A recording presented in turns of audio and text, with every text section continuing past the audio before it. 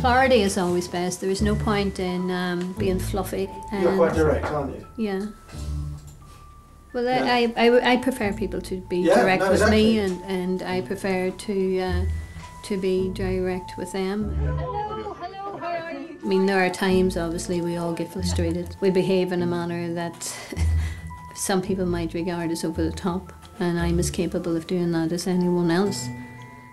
But I'm also capable of ensuring that he gets a very clear, direct message.